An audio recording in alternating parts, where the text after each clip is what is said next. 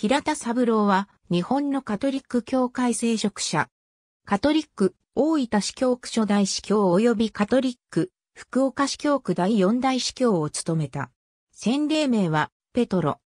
1913年7月23日、福岡県三井郡北野町で熱心なカトリックの平田太郎と地下の三男として生まれ、今村教会で受選。海星中学校から東京大宮学校哲学科に進学。1935年からフランスパリのサンスルピス、大宮学校とカトリック大学で学び、1939年6月29日にパリのノートルダム大聖堂でジャンベルディエス気境により司祭に上会。第二次世界大戦勃発時には司祭不足のためパリ近郊で死没し、修練を終えた1940年に日本海軍の軍艦で帰国。1941年から福岡サンスルピス大宮学院教授を務めた。1962年1月10日、教皇ヨハネス23世により、宮崎地巻区が大分教区に昇格となり、初代司教に任命された。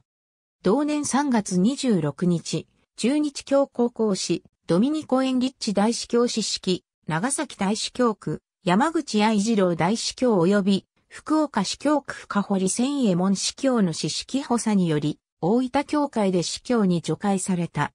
1969年12月2日、教皇パウロ6世は、深堀千右衛門司教の定年による引退を受理。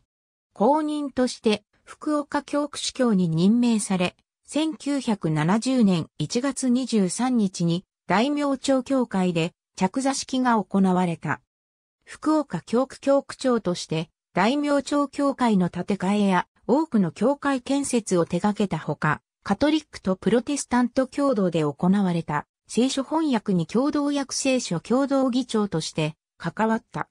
1990年10月28日に定年で教区長を退任し、2000年から聖母訪問会ニュータバル修道院で静養。2007年8月5日に肺炎により、行橋市ニュータバル聖母病院で死去。去年94。